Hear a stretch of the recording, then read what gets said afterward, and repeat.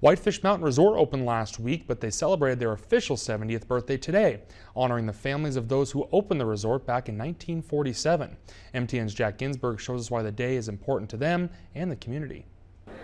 On December 14, 1947, Ed Schenk, George Prentice, and Lloyd Muldown, with the help of many others, opened Big Mountain to the public. There were donuts and coffee to welcome skiers to the mountain before they took the 3,200 foot T bar to the top. A lift ticket was only $2 and a burger ran you 25 cents. And Thursday, 70 years later, Whitefish Mountain Resort unveiled a new plaque next to Chair 1 to recognize the three men who opened the mountain and made it what it is today. Just like back in 1947, there were donuts and coffee for skiers and snowboarders. Both Ed and George's sons were there to see the presentation of the plaque. To see it actually up and displayed was, you know, pretty special. And I know my dad would have been extremely proud of that. Oh, I think it was great. It's, it let people know around here what, how the mountain started and how it became what it is today. Both Schenk and Prentice shared some of their first memories here on Big Mountain. And we'd sat in the back of our old Pontiac coming up. We didn't have seats in the back.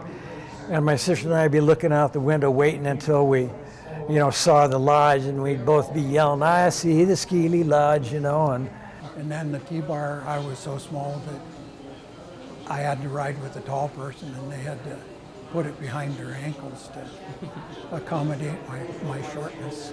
The Prentice family moved to New Jersey when Thomas was in third grade, but he remembers hearing his dad always talking about wanting to move back to Whitefish. I'd see the sparkle in his eye, I'd see how passionate he was about, about the whole thing up here, you know. And Thomas says that some of his father's words stuck with him forever. I think that talk, for one thing, got me thinking, even when I was from third grade through high school, that man, as soon as I graduate, I'm going to Montana. I'm going back to Montana, you know. And that's just what he did. Prentice has been here on and off doing various jobs for years. Anything from a ski patroller in winter to a cook in the summer, carrying on his father's legacy.